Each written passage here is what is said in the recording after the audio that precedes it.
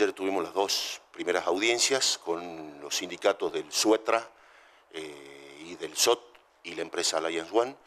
Eh, cada uno de estos sindicatos son los que representan, digamos, los trabajadores ¿sí? de la actividad puntual que desarrollan cada uno de ellos eh, dentro de la empresa.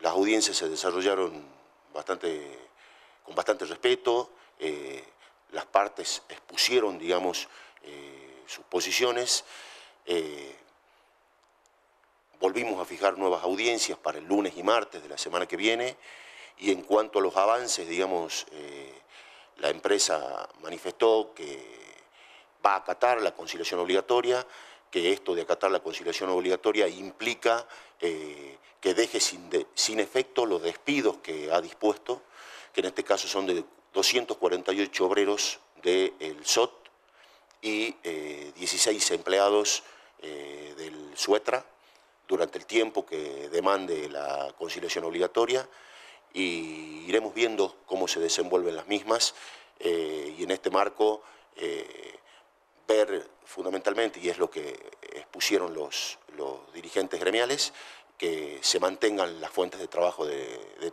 todos los trabajadores de la empresa manera de eh, que recompongan su fuente o se está buscando una indemnización? Porque desde la empresa en algún momento habían comunicado que era imposible volver a contratar.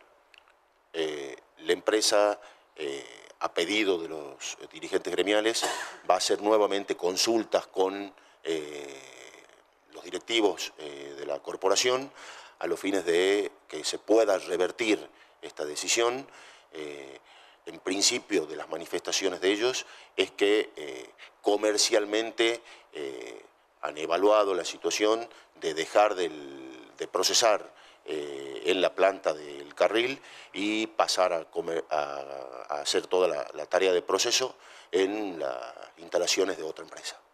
¿Y ahora cuándo van a ser las próximas reuniones? El día lunes a las 13 horas tenemos la audiencia con el SOT, y el día martes, si no me equivoco, a las 8, 8.30 de la mañana, la audiencia con el Suetra. ¿Y ahora está trabajando en la empresa con normalidad?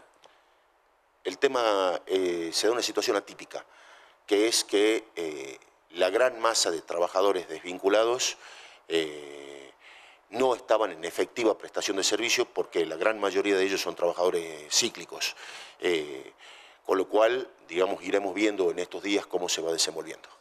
Por otro lado, también consultar al secretario, ha habido muchos conflictos en los municipios por diferentes despidos. Digo, ¿cómo está eh, cada una de las situaciones? Eh, hace muy poco los despidos en San Lorenzo, por ejemplo.